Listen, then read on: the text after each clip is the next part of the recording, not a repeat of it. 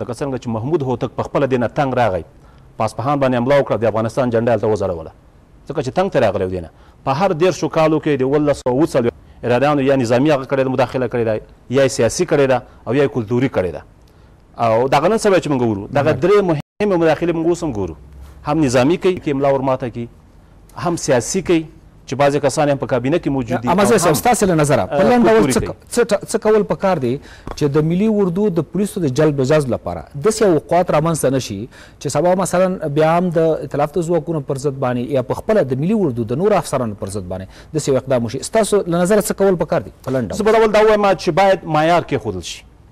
دې ته ونه کتل شي چې هر اقلیت ته زیات ونډه پکې ورکړی شي او دغه قومونه په کې را جذب اگر چې دا زمونږ ملي اردو چې وګورې زه دې احترام لرم زمونږ دغه ځوانان په ډېره کمه تنخوا یو نیم سل ډالر باندې دوی په دغه په دنیا کې د ټول نه خطرناک جنګ ته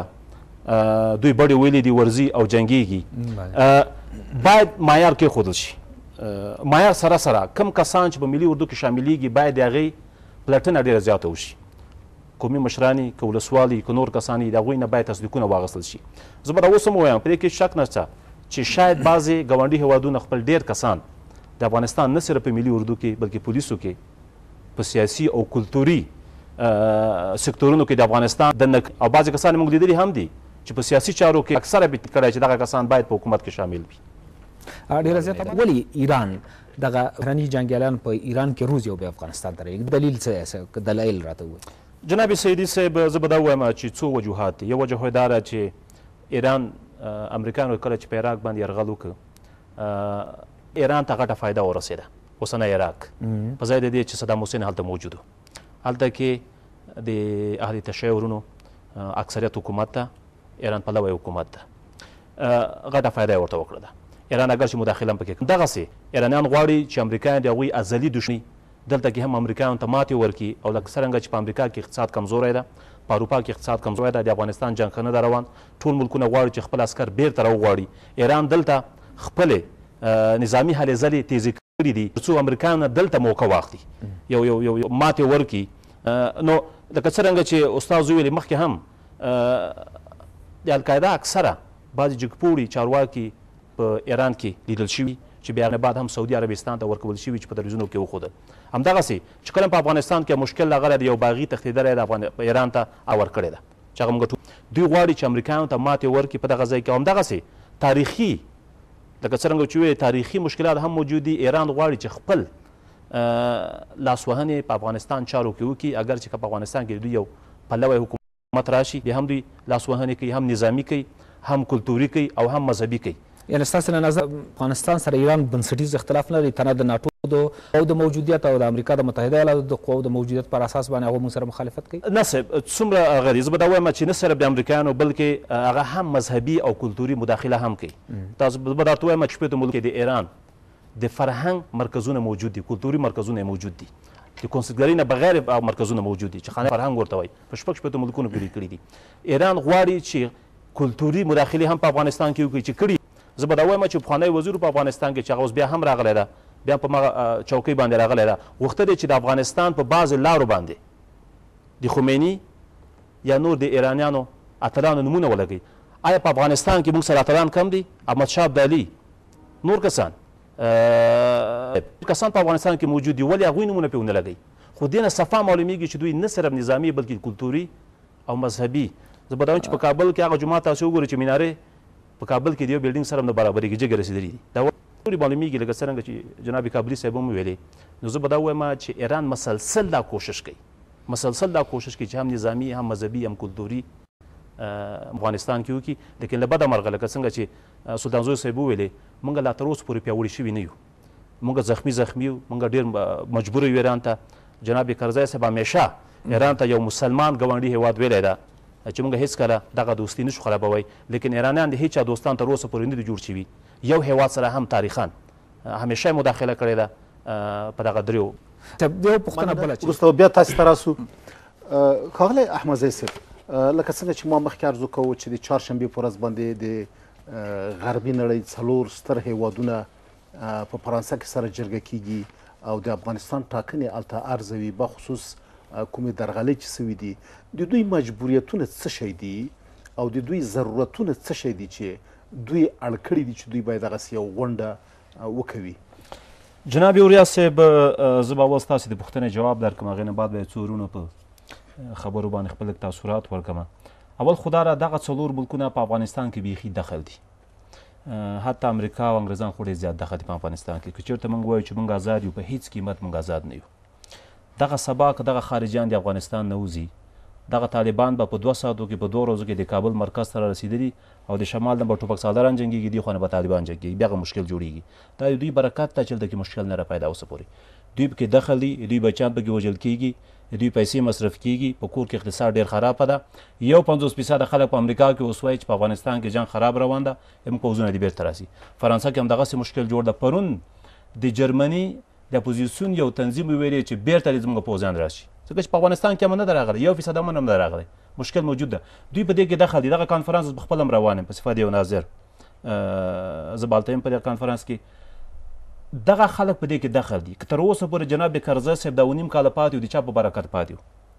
د همدغه خارجیانو په برکت باندې پاتې و دغه څلور نیم کاله مخکې چې د څلور پنځوس اشاریه پنځه فیصده رایې واغستې چې وو په زه وایم چې اووه نوي فیصده پښتانه د لوی ننګرهار د لوی پکتیا د لوی کندهار ټول ورپسې ولاړو ایله بیله پنځوسو د معمولي غوندې واړوله دا ولې د دې خارجانو برکت و چې دی سارول ته کې اوس چې هغوی خوشحاله نه دي هغوی وایي چې په افغانستان کې مخدره موادو مافیا زیاته شوه د جرمونو مافیا زیاته شوه د تجارتونو مافیا زیاته شوه ده ناهلیت زیات شو په حکومت کې ټوپکسالاران یې بېرته راوستل، بېرته یې په حکومت کې کېنول، هغه کسان چې طالبان د هغوی په خلاف راجګ شوي وو، هغه کسان یې بېرته راوستل، ورته مخامخ یې کړل. نو ځکه دوی نه غواړي چې درغلۍ وشي. څو پورې درغلۍ چې دکې او یا دوکې او فریبونه چې تعلق لري په دې انتخاباتو کې، بې له شکه، بې له شکه په دې کې د جناب کرزي صاحب له خوا نه ښه ډېرې شوي دي. یعنې ښه ډېرې شوي دي. دا موږ نه وایو چې صرف کرزي کړي، بلکې عبدالله عبدالله هم دومره ښه سړی نه ده، هغه هم ښه ډېرې کړي دي. هغه هم خو ډېرې کړې دي موږ هغه هم نه پرېږدو تاسې کړې دي بله صاحب هغه هم موږ نه پرېږدو ما نه دي کړي بله صاحب زما بشر دوست وس نه رسېږي چې ویې کړو موږ باور په چا باندې کړی باور موږ په پولیسو په حکومت باندې کړی چې پولیس پر دې درغلیو مخه نیسي والي صاحب یې مخه نیسي ولسوال صاحب یې مخه نیسي مشاور صاحب یې مخه نیسي جنرال صاحب یې مخه نیسي هغوی ټولو دوی ته کمپاین کاوه دی سودو کی زما په دوه مرکزونو کی یا په دوه ځایونو کی چی هلته کی دی کلای جانان خان په مکتب کی او قاسم خان په مکتب کی د شمیرنی په وخت کی دی ما کسانی نه وو پریښی چې را وشمارل شي حتی موږ ته ټلیفون نغی موږ بیرته حشمی صاحب ته ټلیفون وکړ په دغه کې انتخاباتو کمیسیون کې هغه وسره خبرې وکړې بیا هم کسان نه پرې خو هغه ویل چې یو شکایت ودی کوي شکایت هم ودی